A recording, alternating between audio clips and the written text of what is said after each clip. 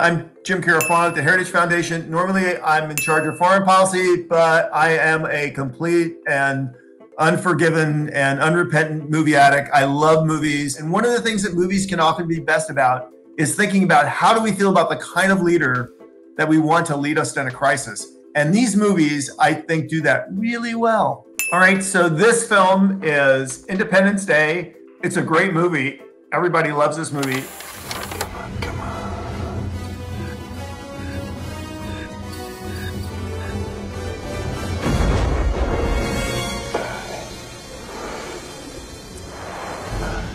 This film reminds me of a quote by a, a, great general named Matthew Ridgway who said, Never tie up your dogs and bark yourself. And what he meant is leaders should only do the thing that a leader can do. And the stuff that other people can do that they're better at, that, that, that they're, they should let them do that. So the, the president of the United States should be leading the free world. He shouldn't be out in a fighter plane. We have fighter pilots for doing that. He should let Will Smith save the world.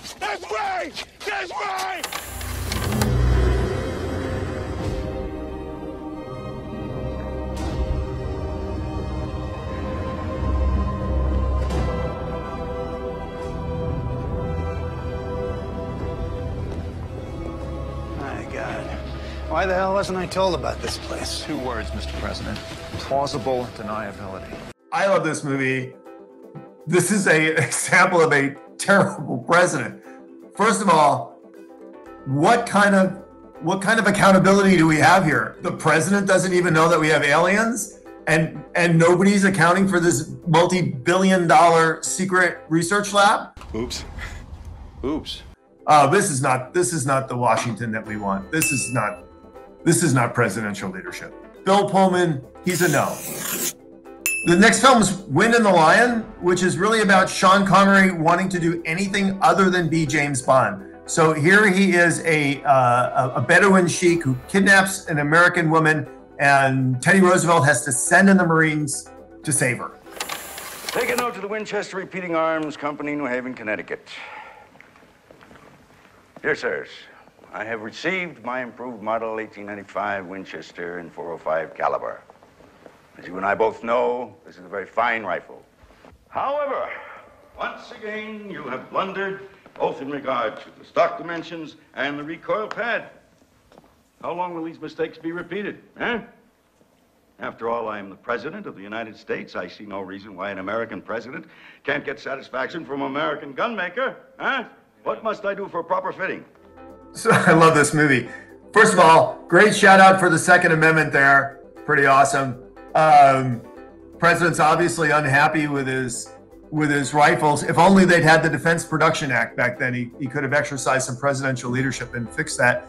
But what we love about this film is Teddy Roosevelt was a decisive president. And the other thing we love about Teddy Roosevelt is he was a genuine, this is genuinely who he was. He never tried to fit in with Washington. He never tried to be anything other than what he was. Uh, and and and actually, this reminds me a lot of Trump. I think Trump would get up on uh, on the Oval Office and growl like a grizzly bear if he if he thought that's what he needed to do to get people's attention.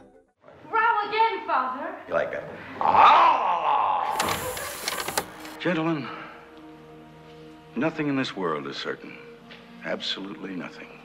The fate of the nation will be decided by the American people in November, and the fate of Morocco will be decided tomorrow by me. Teddy Roosevelt was a president with a lot of over the top rhetoric, but he was also a decisive leader who acted in the national interest and protecting America's interests uh, in the Mediterranean, which was a key uh, trading route for the United States. That, that was important. Uh, and, and, and, you know, spoke loudly, but he also carried a, a big stick. And I think that's what we want for a president. I think that's one of the reasons why Trump's response in the pandemic uh, and in leadership in general is so effective, and and and also kind of explains a lot of his critics. They focus on the big, loud rhetoric, and that they ignore the action. You just can't cherry pick. If you want to look at a president, look at both what they do. You you cannot watch The Wind and the Lion without giving Teddy Roosevelt two thumbs up. This is exactly how we would want a president to act in a crisis. This is a yes. This film is Hyde Park. But let me confess something to you now. as you have been so honest with me.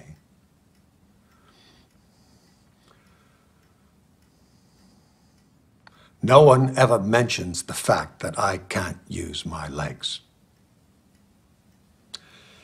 It's never referred to. Not by anyone.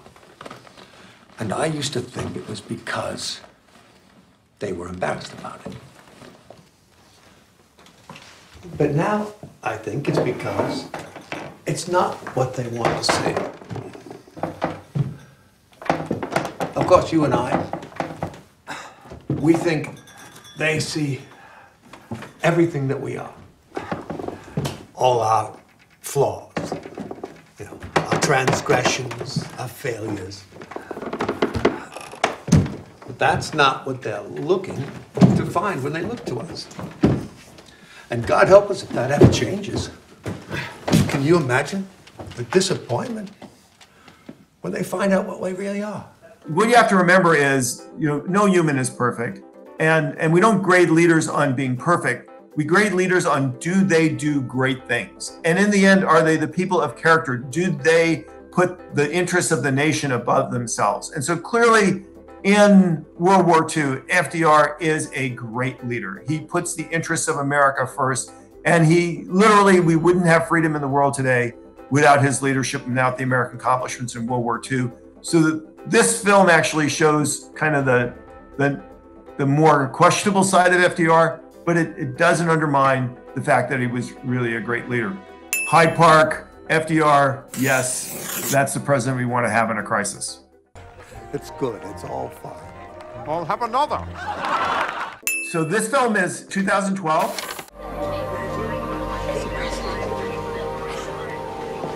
What's the matter, sweetie? She can't find her daddy.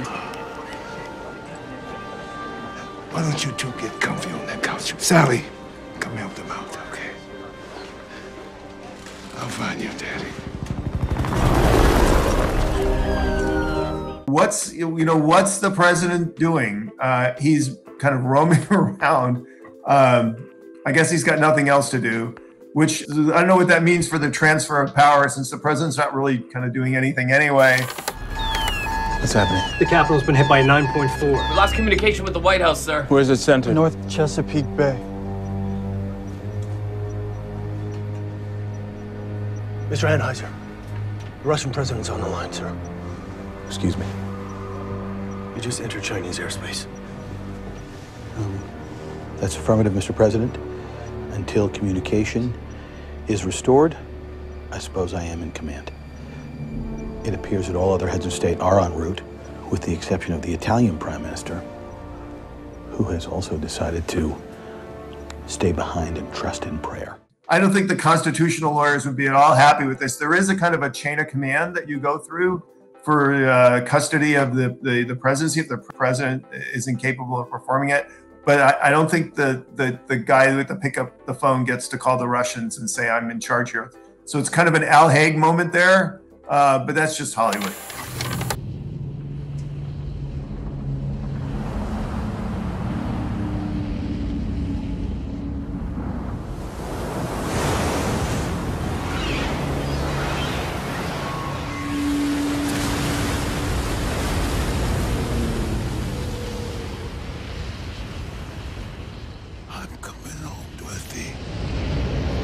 Course, the whole point of this whole film is is in crisis, presidents are supposed to do something, and and and Danny Glover pretty much just does nothing until he gets pancaked by a by an aircraft carrier. So that's a as a president, leadership in a crisis, Danny Glover's a no.